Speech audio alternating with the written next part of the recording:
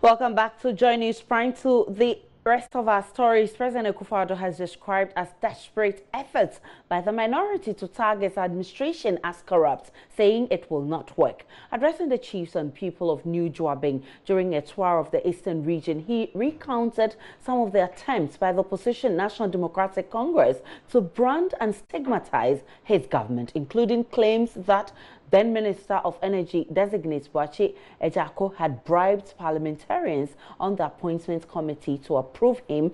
Allegations, he says, were later found to be untrue. The president also cited recent allegations made against the Trade Minister Alan Kyerematen and his deputy. binom sɛ kataahyehyɛ ne porɔeɛ na meka ho asɛm election no sɛ Some people say that I no longer talk about corruption the way I used to during the 2016 election campaign and that I have abandoned the fight. Trial of people for corruption is not a political trial, it's a criminal trial.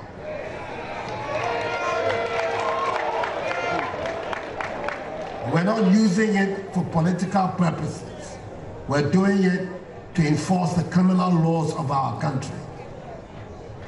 And no, no, no, Baba, yeah. You have to make sure that you're doing the right thing, you have the right evidence. So one by one, Ghana for say now I have one.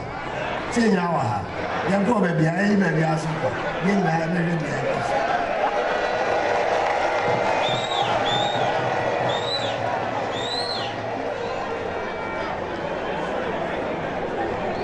Ɛnim sɛ kataahyehyɛ ne mpɔyɛ asɛm yi ebinom enyaeɛ ade atumatumi yɛ afa neɛ so yɛ ho.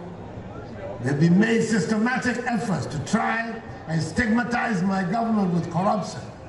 Wɔakye gyako ɛkɔ vetting wɔ ghana wɔ parliament a efiri ebinom ano a wɔde sika ne nenam mu. We are all here, are we not? I know this issue of corruption. Some wish to demonize my government with it. When Boakye Agyarko went to be vetted, some claimed that he bribed his way, but when we checked it, it was spurious. Then they brought it to my office, two gentlemen doing a great job, my two deputy chiefs of staffs. They accused them of corruption, but when the CID investigated it, it turned out to be false. si adifoɔ kɔ hwehwɛ mu wie yɛ no wɔn se wɔn yɛ ho hwee wɔ wu kyekyere yɛ still still it's not good enough. Na yɛfɛ ne sɛ nhyiraat a wɔn panyin no dama hama na apɔnti a ɔno nso so kɔ hwehwɛ mu ɔno nso so se hwii ne mu. CHRAJ, which has a boss appointed by John Mahama, also looked into it and found nothing. Now they claim Alan Kyerematen too has stolen money. But when he explained it, there is nothing there. But this desperate effort to stigmatize my government with corruption, it is not going to work.